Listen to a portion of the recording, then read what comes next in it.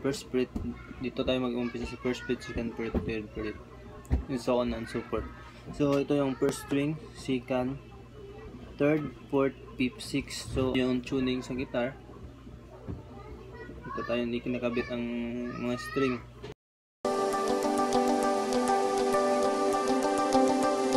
Yung dito sa ikalimang fret. Uh, pinapakinggan ko lang yung tunog. Yun, like, parang ganito. Pag mag, magkasing tunog na siya, so, pwede mo na, yun na, yun.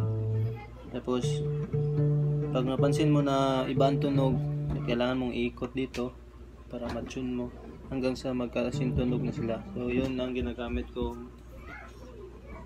uh, pag-tune ng guitar. So, pwede rin naman sa mga apps, Android phones, iPhone, iOS phone.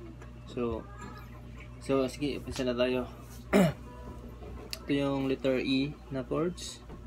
So, pwede mo rin yung second string. Ito, ilagay mo yung kamay mo dito, ay yung daliri mo sa second, at saka sa third string, at saka sa fourth string. Ayun, fourth string. So, pwedeng ganito, pwede rin ganito. Depende yung kung saan kayo komportable. Tapos, pwede rin ang iba gumagamit nito. Pareho lang yung tunog niya. Hmm. Ito rin. So, sa letter C naman tayo. Ah, sa letter C, dito tayo sa first fret, second, stri second string, second fret doon dito sa fourth string. Tapos, third fret dito sa fifth string. Parang ganito. Letter C, pwede ding ganito. Pero mas komportable kung ganito. C. So, D na chords.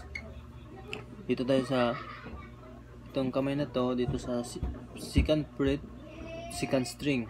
Tapos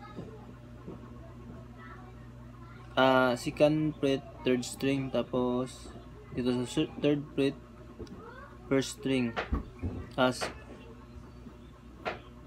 second fret pa rin uh, per, uh, second fret, third ito, second fret, third string, tapos ito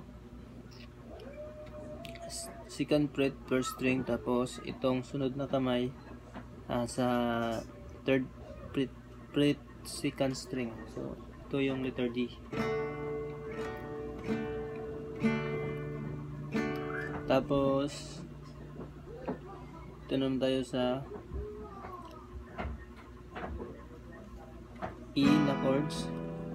So, dito tayo sa first fret, fourth string. Tapos, sa second fret, itong ikalawang kamay, second fret, fifth string. Tapos, itong ikatlong daliri sa second fret pa din, pero sa fifth, uh, fourth string. So, ito yung E chord. E chord. So, apple, cat, dog, at saka eagle.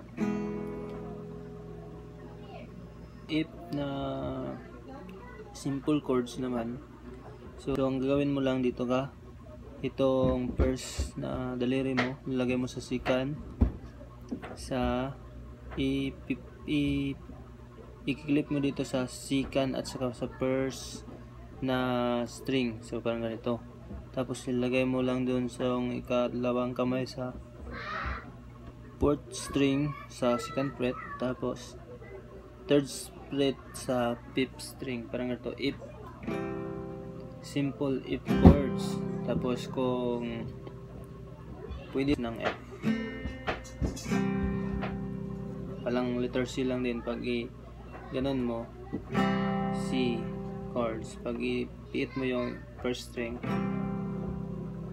ito yung F chord sa Apple minor naman tayo sa Apple minor sa second second first fret second string tapos second fret third string uh, second fret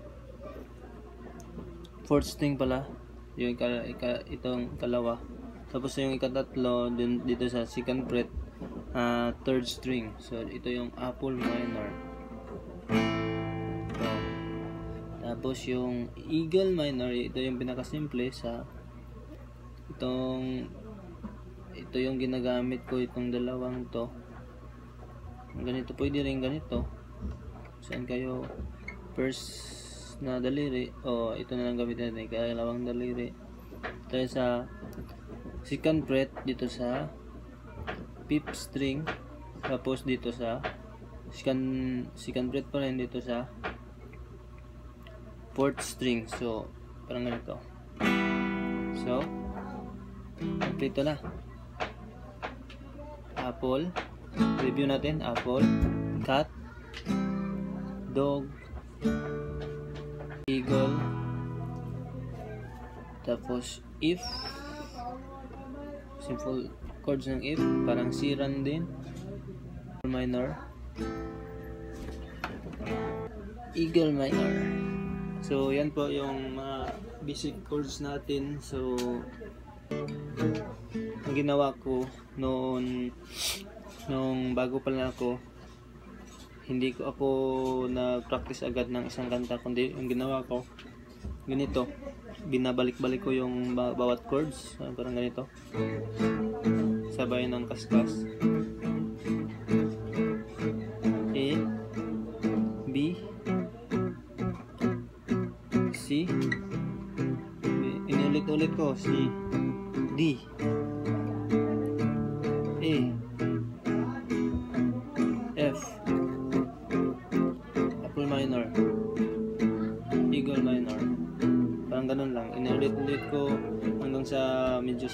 yung kamay ko tapos tsaka ako nag-practice ng isang kanta.